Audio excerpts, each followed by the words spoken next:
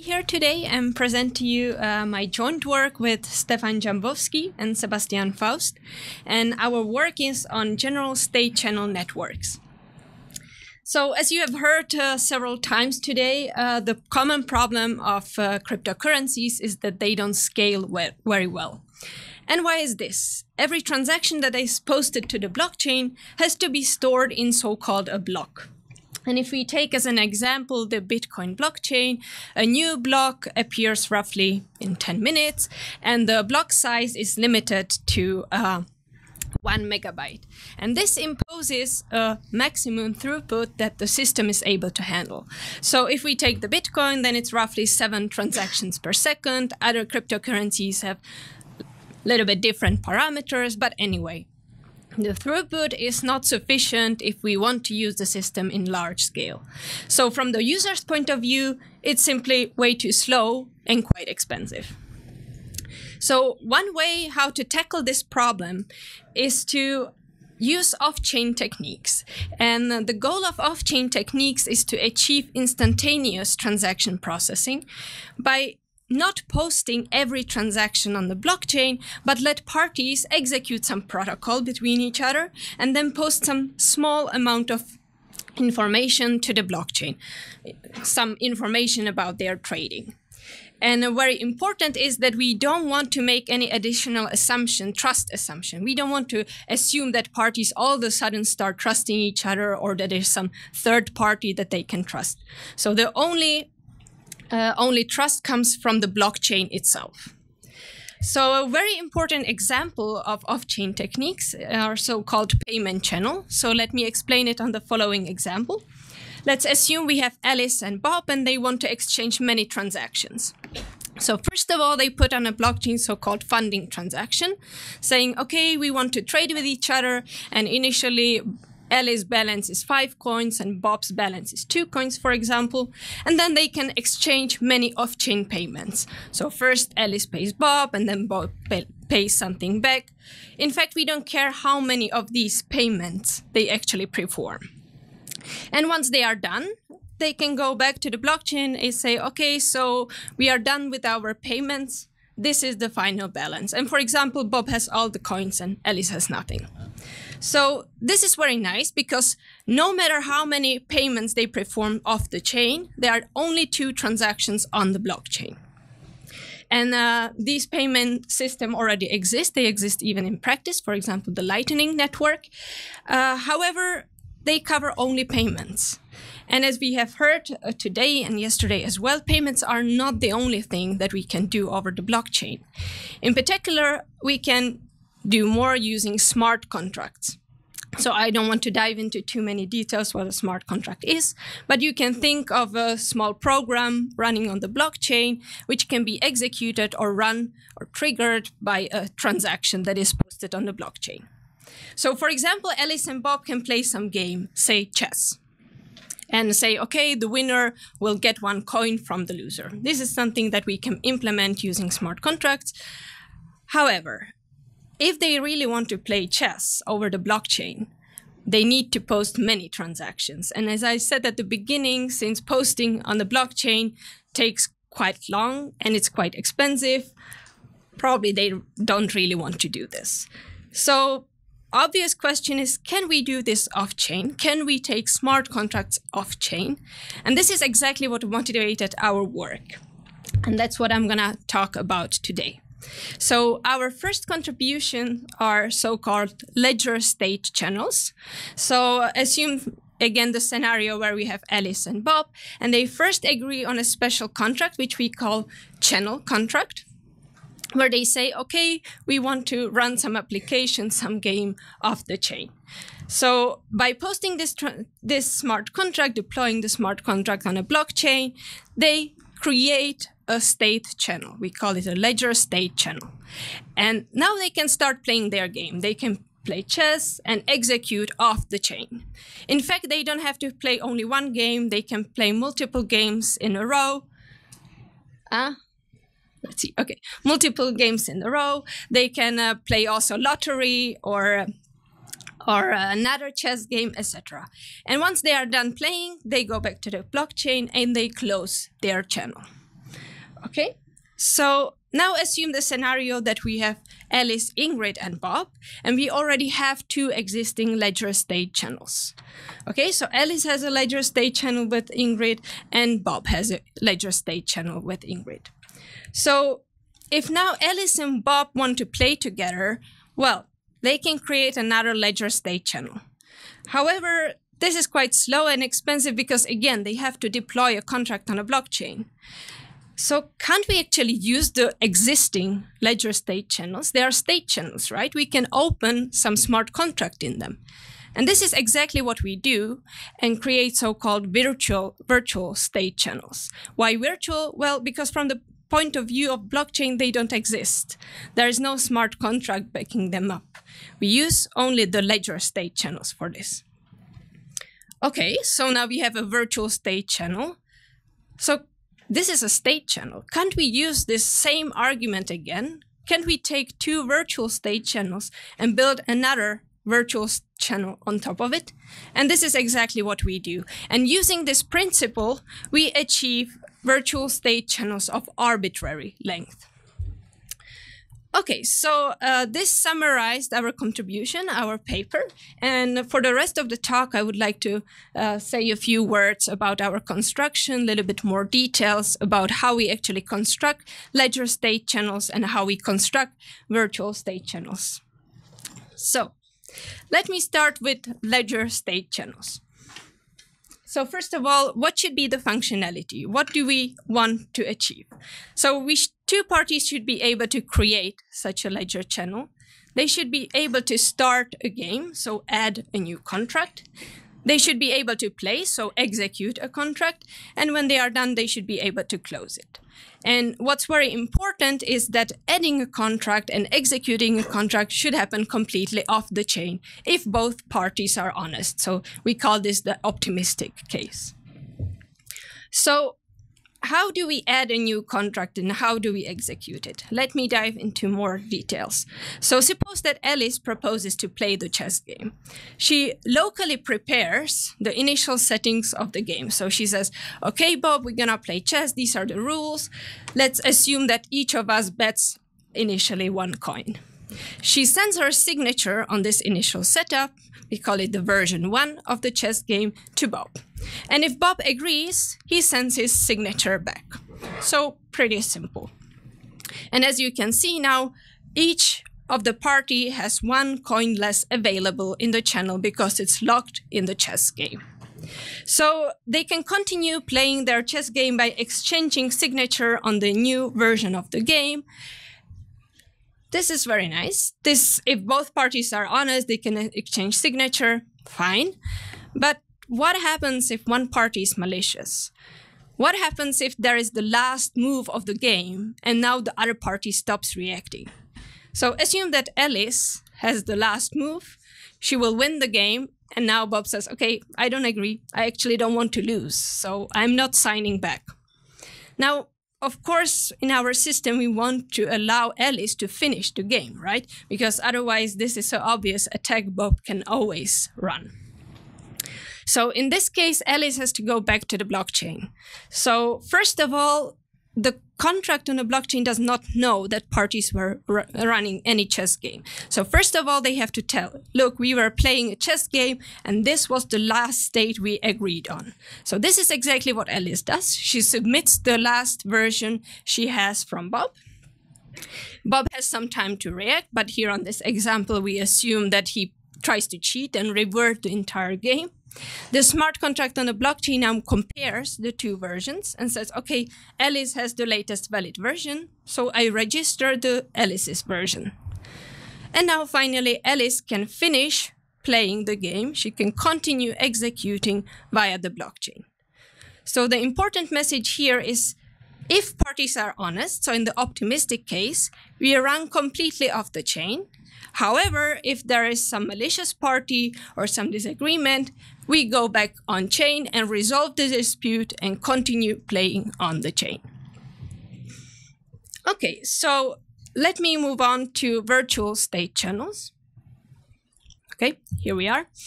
Uh, so again, the functionality is very similar as for ledger state channel. Again, we want to be able to create such a channel. We want to add a new contract, execute and close. The main difference is that now all four of these steps have to happen off the chain in the optimistic case. So if all the three parties involved are honest, we want to run off the chain. So let me just recall the motivation for virtual state channels. So we said we don't want to have a new smart contract on a blockchain because of virtual channel, because it's slow and expensive, etc. So the first idea might be, okay, so, well, why, why did we actually need a smart contract in the ledger case? Well, we needed it as a sort of a judge, right? If Alice and Bob disagree, they could always go back to the ledger and decide, okay, who is right, and they could continue playing. So who's going to play the role of this judge? Well, we could ask Ingrid to play the role of the judge. However, what if she is malicious, right? What, what, what if she's not available all the time? She might be offline or she might even collude with the other party. So we also don't want to use Ingrid. So instead, as I already hinted at the very beginning of my talk, we use the power of the ledger state channels. Okay, so in more detail, what do we actually do? In each of these ledger state channels, we add a new contract, in particular, a virtual channel contract. And you can intuitively think of this contract being sort of a copy of the virtual channel. And this in this copy, in one of them, Ingrid plays the role of Bob, or on the other side, Ingrid plays the role of Alice. Okay, so this is exactly how we create virtual state channels, and this idea can be also extended if we create longer channels. So for example, here we already have one virtual state channel, this green channel you can see between Alice and Bob. And so now we add a new contract in this channel and we create a channel between uh, Alice and Charlie. Okay, so having a contract, uh, having a channel between Alice and Charlie, they can again start playing some game. And they played exactly the same way as if it would be a ledger state channel. So they just exchange signatures on version of the game. They don't have to talk to the blockchain. They don't have to talk to any other party, not Ingrid, not Bob, no one. Okay, so this is the optimistic case. But what happens if one of the parties disagree? Okay, so what happens in case of a dispute? So assume that Charlie is malicious and he again, for example, does not confirm the last move.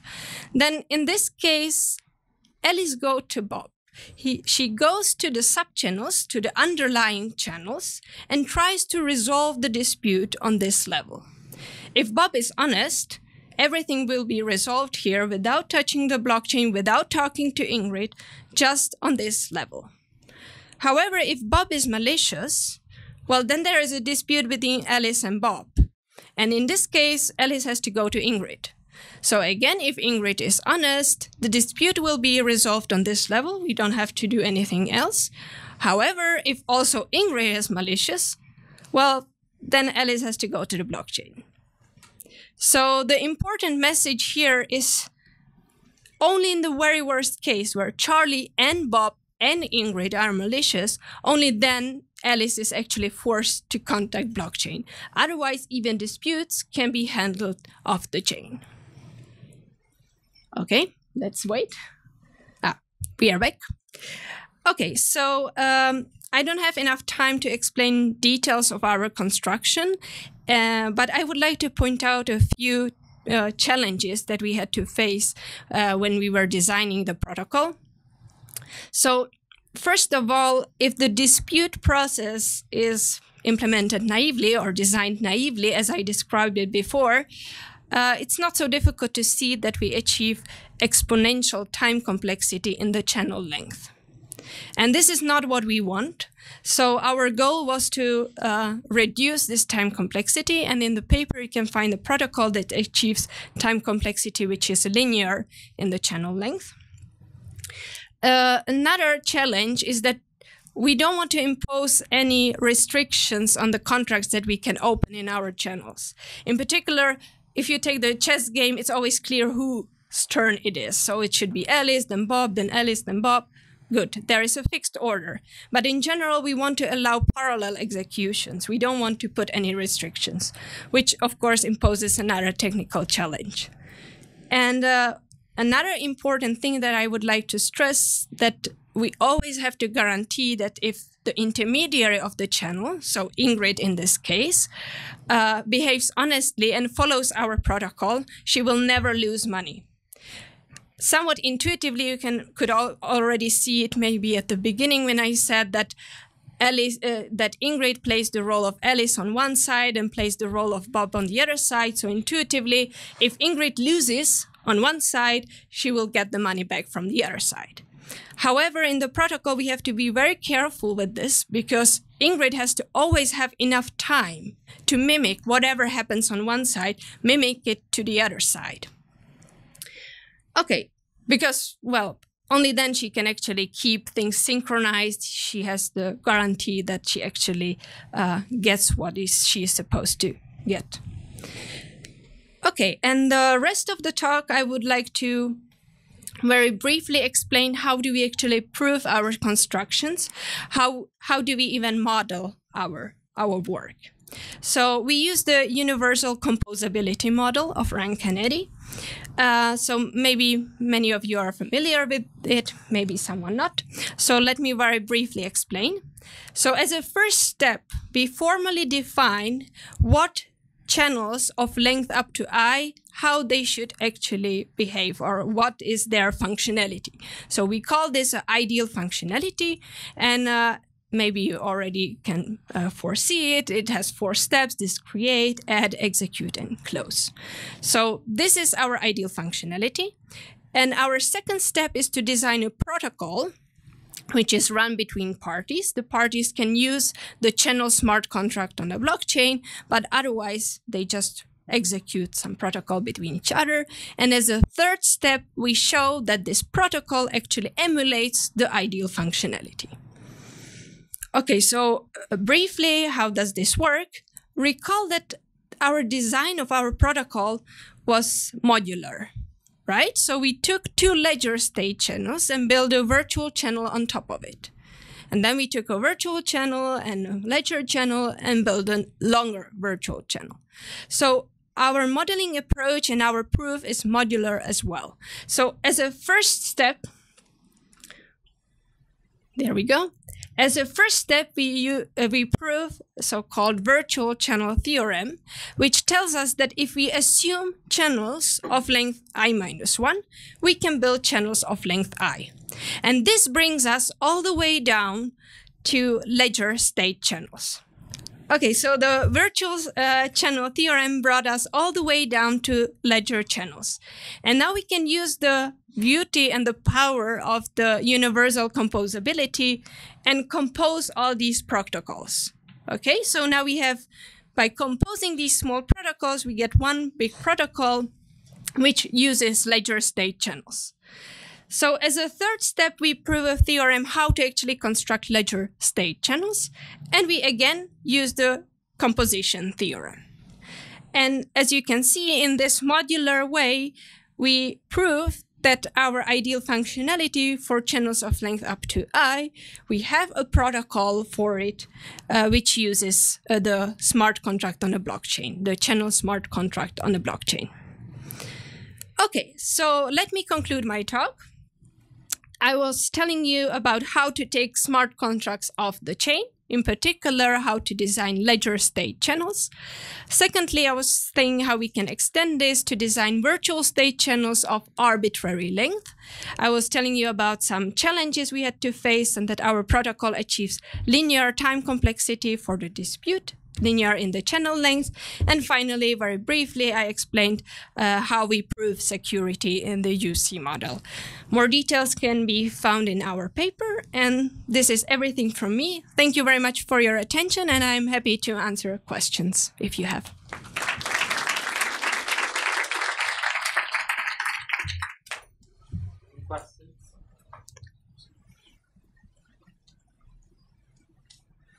Uh, so great presentation. Um, my question is, in case of a dispute between Alice and Bob, what is the incent- incentive of Ingrid to actually solve the dispute? Because Ingrid, uh, she could say, "I don't really care. This is not my problem," and she don't want to spend her time computing things for other people, especially if there's no incentive. Like in the blockchain, you have miners, but the miners get fees, but there's no fees here. Yeah, so, so in practice, okay, okay so uh, our work at the moment is fairly theoretical. In practice, you would have fees for uh, for Ingrid. So Ingrid would get some small fee for her service. This fees should be always lower than the blockchain fees that would be required. However, there there is still once Ingrid actually agrees to uh, be the intermediary of the channel, she actually has an incentive to resolve the dispute because I mean she can say I'm offline but at that point, Alice and Ingrid run into dispute, in which case Alice goes to the blockchain.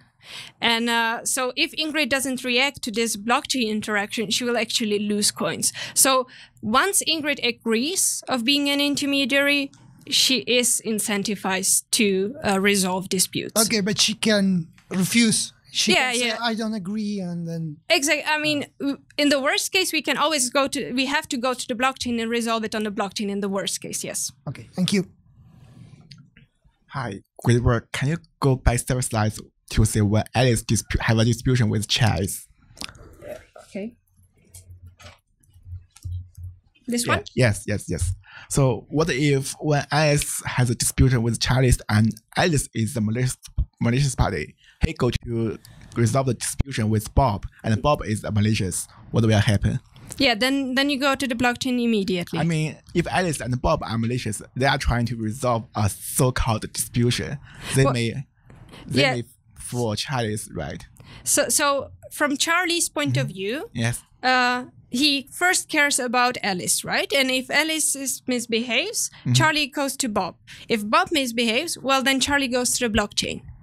So, So- and uh, Charlie doesn't really care how Bob and Alice resolve the dispute between each other. It's be- between these two parties. Somehow, Charlie only cares about the part that relates to him immediately, which means the channel between Bob and Charlie.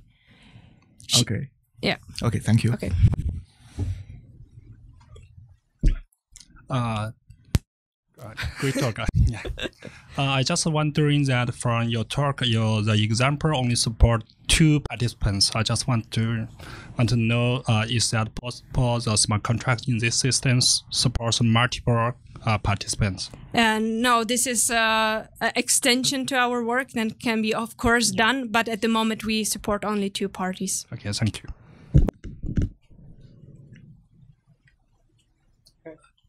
Oh, just, just one quick one.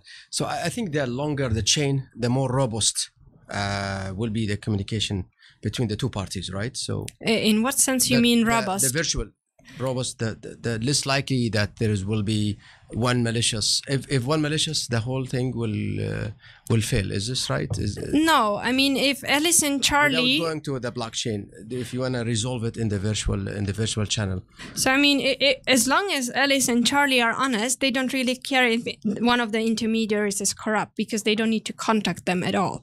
So i if I, I decide to play with my friend, then I trust my friend and we are honest and everything goes on well. Only when we start dis- like Dispute. disputing. This this is some, there's a dispute here. Yeah. Okay. and uh, so the longer the chain uh, the better is this correct The longer the well, The- the okay, virtual, yeah, yeah. virtual channel In, in, in, in some sense, yes, because you can think of it as layers of defense, correct right? correct Because That's you exactly, go exactly, yes, exactly so yes. in, th- in this case have you thought about the, what's the uh, optimal length or this is left to the to the user to define or Yes, I think that this uh, uh, there are actually many things, many aspects that has to be into consideration. It's not in our work, but uh, it also depends what sort of contract you actually want to play for. How many of them? Uh, how much communication will there be? How expensive would it be for you to actually go and dispute on the blockchain? so there are many exactly. parameters, and we did not analyze Okay, it in the sounds paper. good. thank you thank you Let's thank the speaker again.